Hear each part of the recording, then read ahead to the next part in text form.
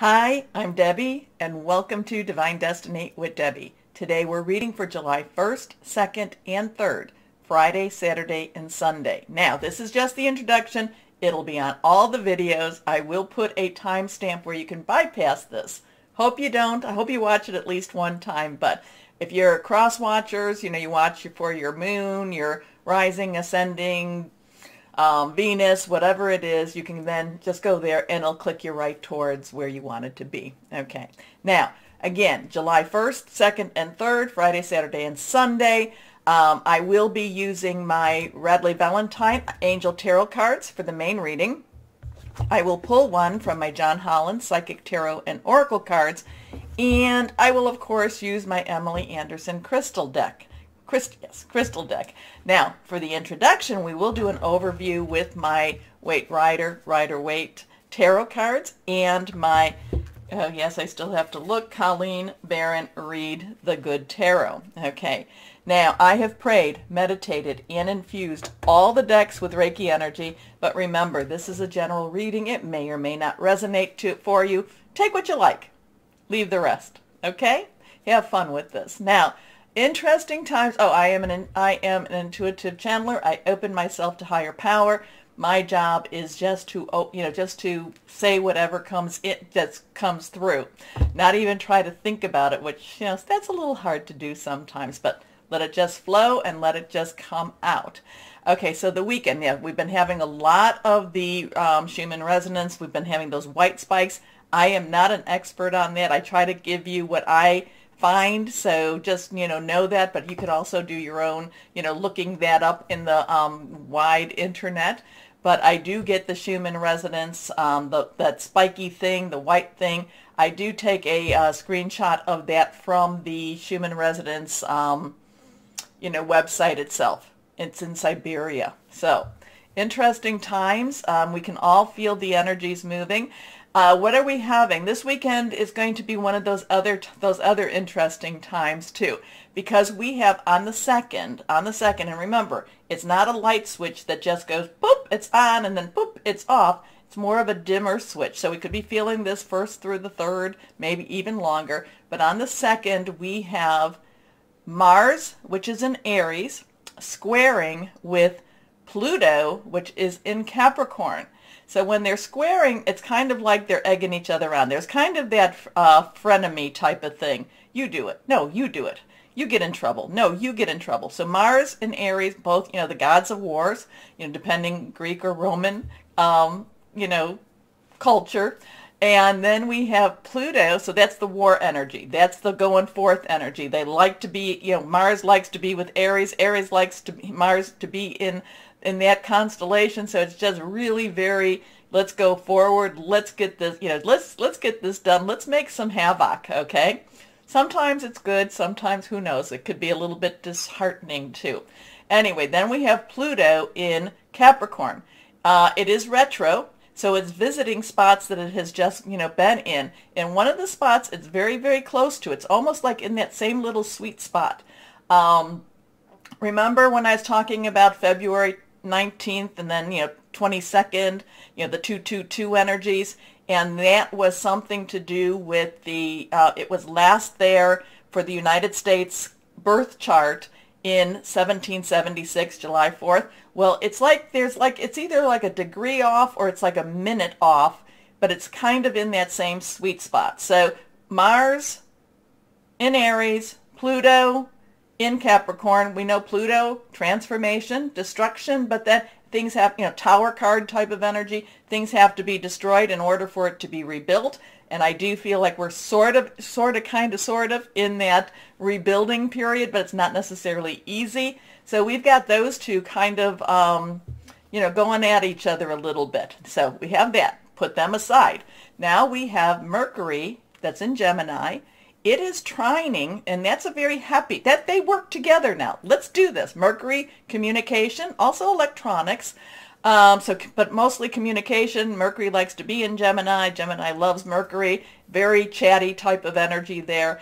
Um, then we have that trining, so it's coming together with Saturn in Aquarius. And Saturn, again, these are the things that I've been saying about Saturn, is, you know, um, basically it is illusion versus reality. So the weekend could be very interesting. Things could be, you know, more and more, more revelations, more things happening, more coming out.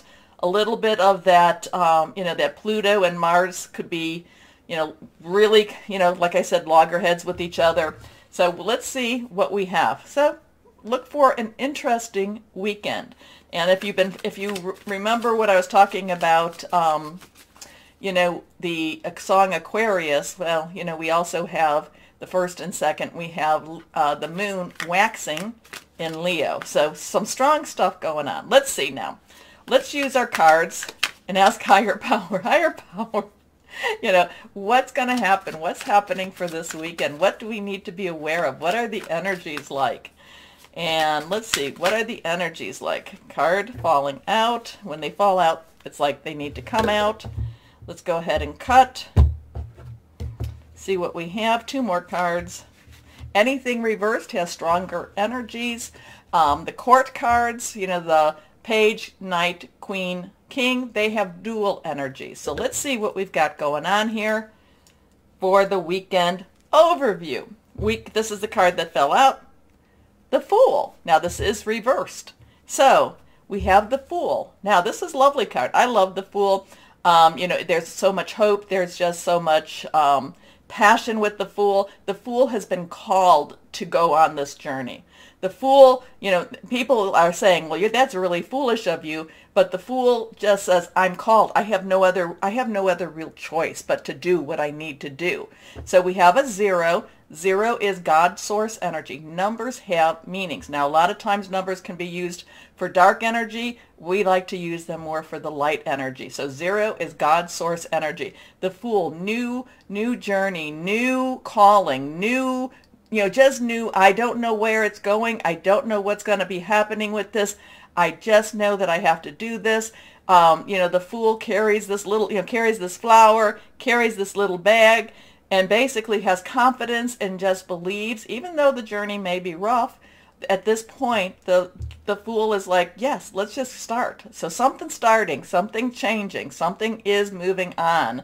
And again, there, you know, the fool is on the precipice, and we've all been feeling that type of energy, like, like, you know, where are we going? It looks like he's about to um, fall, you know, off. He's just, you know, just kind of just, you know, head in the clouds, or not in the clouds, in the sun, just kind of looking up, not watching even where he's going. But we don't know. We don't know what's below. Maybe it's a step down into another level. Who knows? But that's a th- that's the journey of the fool. We don't know. We just have to trust. We have to have faith. And again, it's saying we're being called to something that we don't even know. You know, we don't know the outcome. We don't know the end. Next card is, okay, now we have another major arcana. We have the devil. The devil is a 15, so it's a 1-5. Again, the 1 is new beginnings, new start. 10, transitional energy, plus a 5. 5 is all about change. A lot of times it's 555. We've all seen those, you know, those double, triple numbers. Um, you know, change, change, change. Could be positive, could be negative. The thing about this, as we start the new journey, the thing about the devil, the devil is, um, a lot of that is being ruled by fear you know, breaking out. Do we break out? Do we even leave our chains? What are we supposed to do with this? The thing is, when you look at the chains, the chains are loosely bounding. So they these these whoever or whatever these are could slip these chains and you know chains and move on. But is it basically, you know, rather stay with the devil you know than go on the fool's journey? This is a lot of this is facing your fears, come coming, um, coming, confronting your, you know, just coming to face to face your fears. The end, the thing about this is now, you know, we don't necessarily want to stay in this in this very, um, you know, this harsh energy here. The interesting thing when you look at these people, you know, there's a feminine and a masculine, is they're no longer human. They're they're no longer fully human. They're being transformed into something else. So the fool is saying, break, you know, is saying, come on, we're being called to something else. The devil basically says, do you really want to do this? Do you really want to do this? You know, wouldn't you rather stay with what you know than maybe try something new or maybe, you know, try a new pathway? So this is, a lot of this is the, um, you know, like I said, facing fears. But, um, you know, you've been following me for a while. This comes up periodically. It's, you know, fear is the tool of the devil, is one of the tools of the devil's devil. It keeps you from following your journey. It keeps you from moving on to where you need to move on to or where you're being called. It, fear can keep you from your calling. Okay, let's see what this next card is. And there we have it. Again, reversed. Were they all reversed? I think they were. But again, we have that five. Five energy. We have the Hierophant. You know that I'm not necessarily a big fan of the Hierophant. The Hierophant to some readers is saying you're coming to your higher calling, that you're being, you know, that you're just, you're, you're just rising above yourself. To me, the Hierophant is the business of religion, the business of government, the ruling of the religion, the ruling of government. Basically very strict, very structured. So it's kind of like fear. Do we stay with one? Do we go on that new journey? So this weekend does have a lot of that. Um, does have a lot of choices for us. And, you know, it could also be that many of us who follow, many of us who have, you know, you've communicated with me, um, I do believe that, the you know, star seeds, um, indigo, crystal children, whatever, you know, whatever time period you came in. And like I say, I'm from the old time period. Um, you know, there is there is some changes. We have some choices to make. Which way are we going to go? Which what what are we going to choose?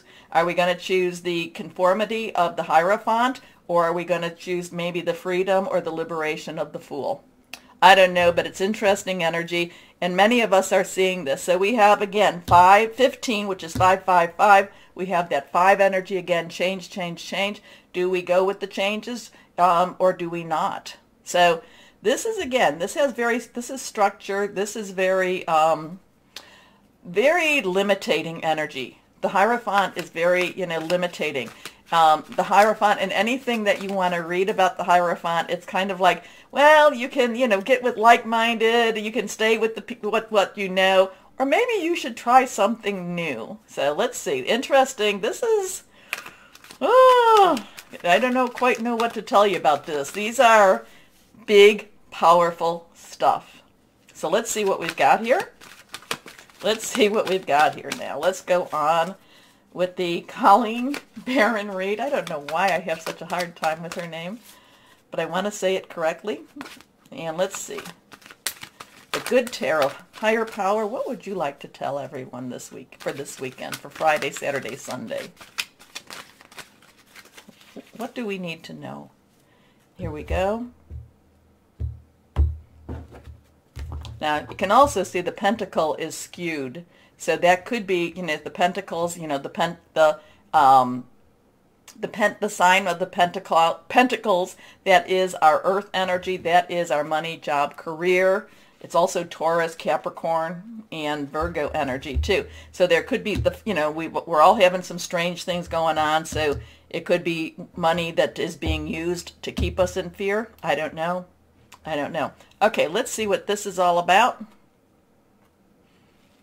And now, again reversed, we have the five of air. Five of air.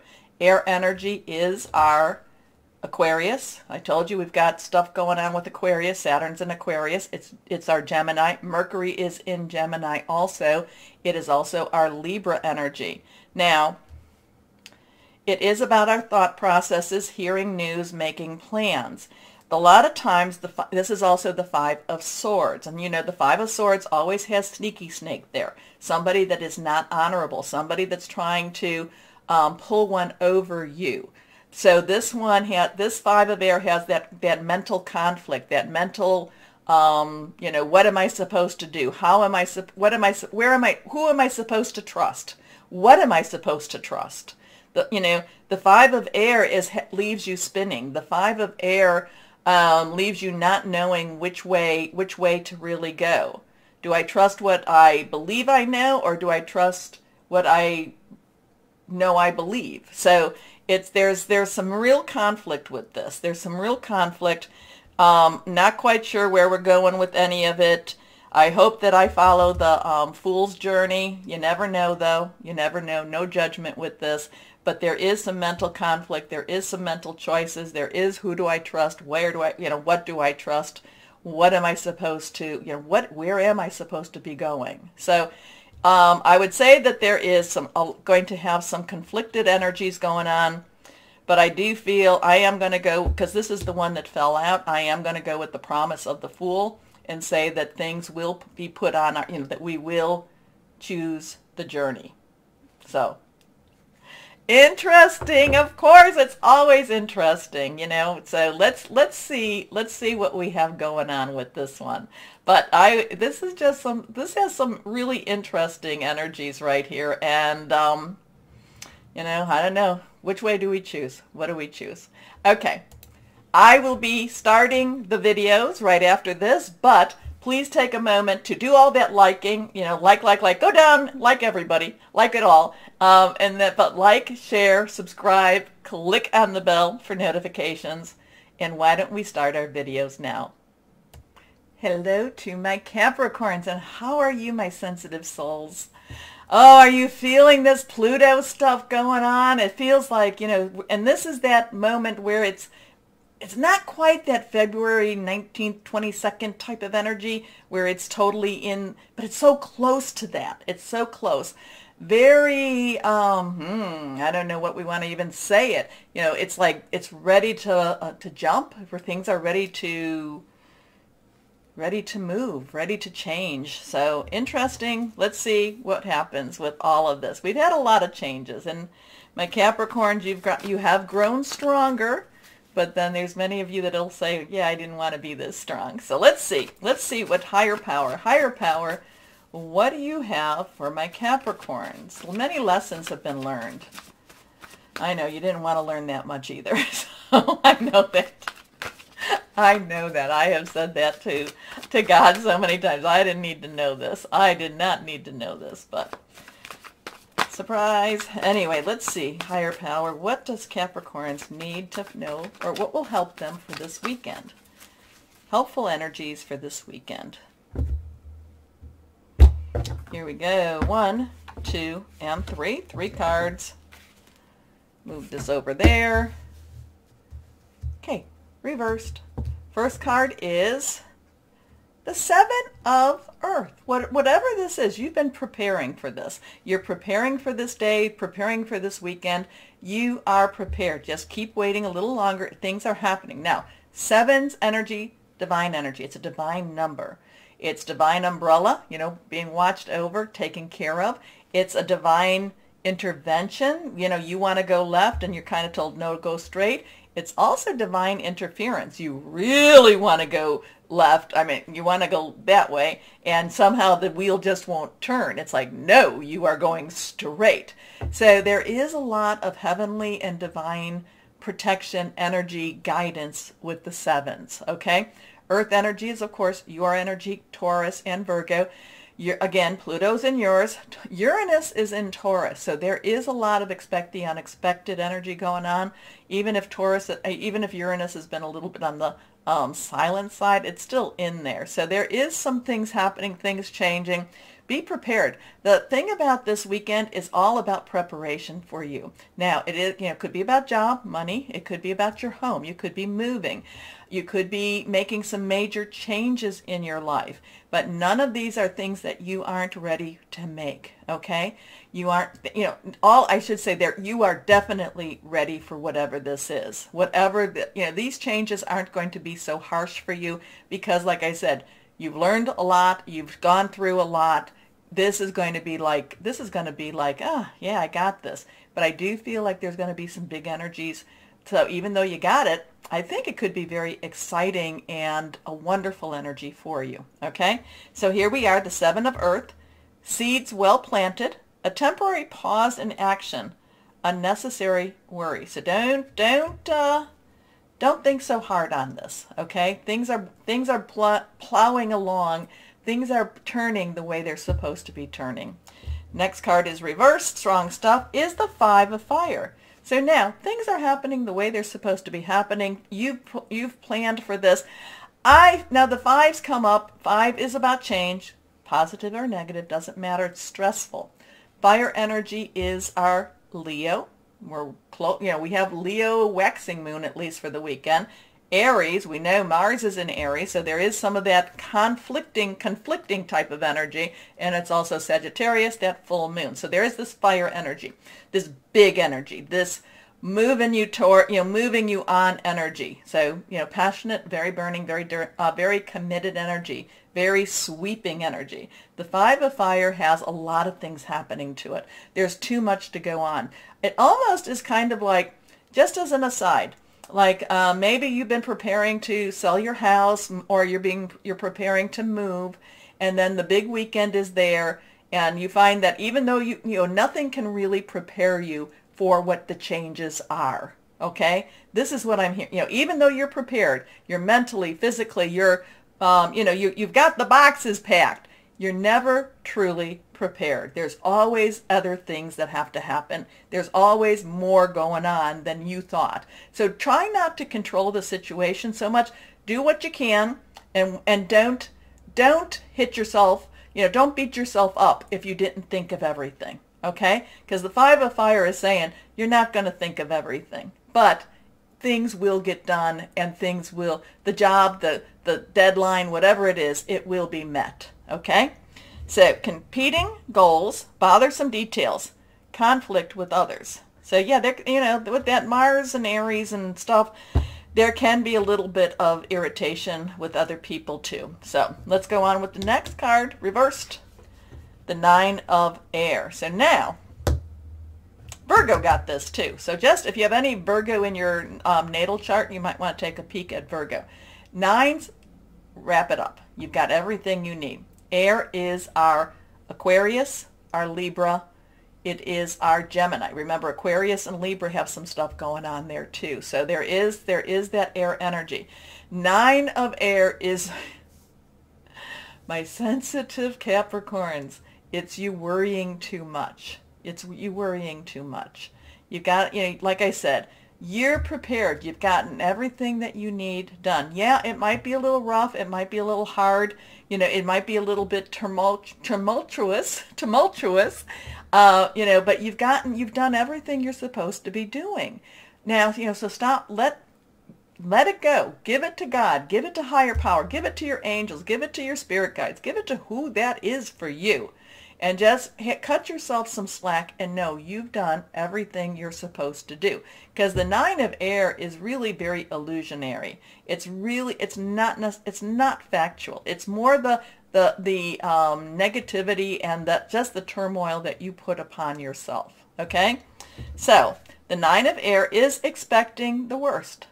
Self-fulfilling prophecies sleepless nights a self-fulfilling prophecy is when you keep saying, "Oh, that's gonna, it's it's all gonna go down. It's all, nothing good's gonna happen. Nothing." You keep putting that out into the world, into the universe, into the air, and you you'll find out that even if it turned out wonderful, you'll all you'll be hypercritical about everything. Okay, so just cut yourself some slack. Be patient with others, and you know, and cut them some slack too, because that seven of Earth is really saying you've got you've got this. You've got this, my my Capricorns. You've done you've prepared well. You prepared well. Okay? So, let's see. So it looks like a busy weekend for you. It feels very busy. Feels like you know, there's like that nine of air. Oh, if I could have done more, I could have. Oh, stop it. Stop it, my Cappies. Let me give you a big hug and kiss and say, you did great. You've done great. Anyway, let's see. Higher power, what else can we tell our Capricorns? What can we tell our Capricorns for this week? Weekend. Here we go. Solar plexus. So now we've got a three. Three, power of three, celebration. Um, also creativity. Solar plexus is right, well you can't see it, but it's one of the chakra energies. And there's lots of chakras, but of the seven main energy, the solar plexus is right below your heart, okay? And it's about your integrity. It's your, it's living with yourself. It's doing the right thing. It's knowing knowing that you've done what you could do, okay? So the solar plexus uh, chakra is having a little more faith in you. I mean, if you really didn't do if you didn't do enough, if you didn't prepare, you'll have to be very honest about that because the solar plexus is about integrity. So if you didn't do enough, you know, I mean, if you if you um, like a, a teenager having to do a term paper, do they still have to do term papers?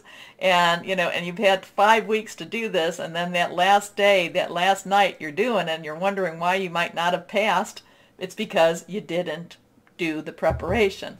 But then you have to be honest. You have to be honest with yourself, honest with others. And the solar plexus has a lot of that.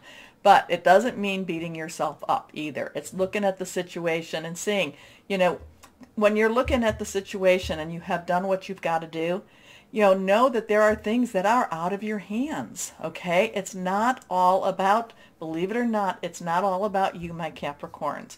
Other people play parts in this too.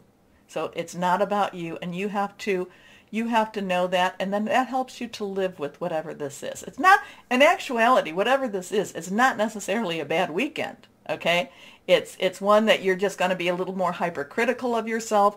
You're just going to be thinking, "Well, I could have done this better." No, no, no, no. Whew. Simmer down. Breathe. Breathe through it and know you've done a really good job. You prepared well. Okay? This is what the whole thing is. You've done what you need to do. You prepared well. Okay? Have patience with yourself.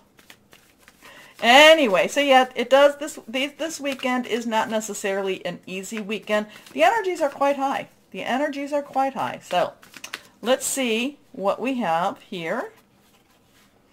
What we have here, uh, what crystal or energy would be helpful for my Capricorns. Here we go. So cut yourself some slack. I know that's hard for you to do too. You're perfectionists. Here we go. Well, you know my favorite stone. I have to tell you, my favorite stone out of them all, well, until I decide something else. Protective, anxiety relief, aura cleansing, self-belief. Black tourmaline. Hold on to that little puppy. okay, my Capricorns, cut, like I said, know that you've done what you can do, but there's other people involved in this. There's other people. You are not alone, okay? It's not all on your shoulders. Anyway, my cappies, my sweet, sweet cappies, like, share, subscribe, do all of that, you know, click on the bell, notifications. Most importantly, this is really important. Really know that you are loved. Stay shining and be blessed. Bye-bye.